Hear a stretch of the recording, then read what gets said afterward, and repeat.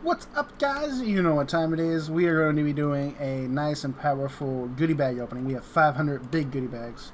Uh, so before I get into that, I'll just explain the differences between the large and the small. So um, the large one is a little harder to get because it requires a rod of Ivandis, which is either worth 10 mil or you can get it from mob drops from the uh, Citro Queen boss or the actual pirate zombies slash zombie pirates that you find at Colon Colon event.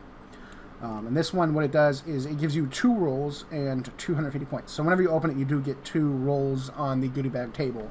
Um, and then if you get the smaller one, which is the one we normally hand out, and the one that um, you get from donating slimy eels, only has one roll and 100 points. So that's the only real difference. Um, it's even though it's 500 goodie bags, it's actually 1,000 rolls on that table. So it's essentially loot from 1,000 small goodie bags. Let us open a couple together, and then we will just spam open the rest. Unfortunately, because of the item requirements, like we have to do 10 at a time, so this is going to take quite a while, but that's what we signed up for. Move them over here, that'll be faster. Special box, nice. We will open those. Well, uh, there's going to be a special box opening video tomorrow. So I will just leave you with mystery for now then, I suppose. And then tomorrow tune in again, and you should have that video for you. I'm not going to do a small opening because, like I said, they're the exact same loots, just you get more rolls with the larger one, so that's why we're doing the larger one.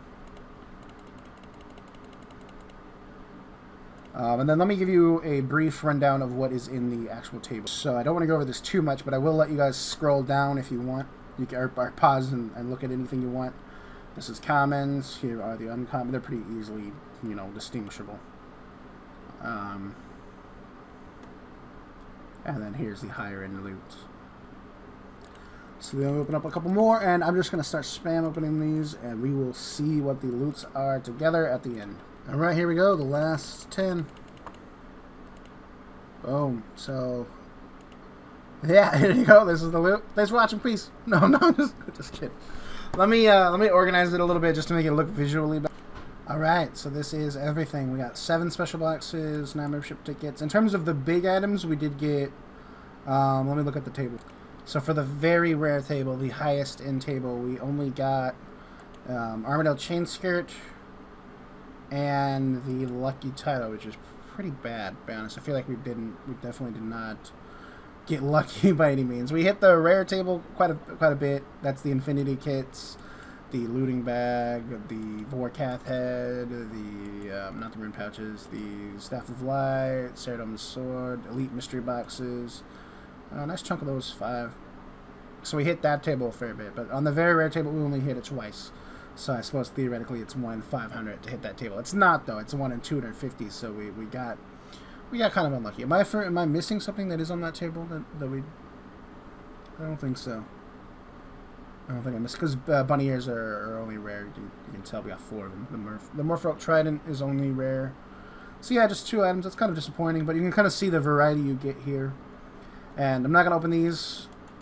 If you want to see those, tune in tomorrow. But thanks for watching, guys. Peace. Oh, also the Mossy. If you're wondering what the new items, I guess I'll go over those. So the challenge ticket's not new, but it was a part of the one of the last events.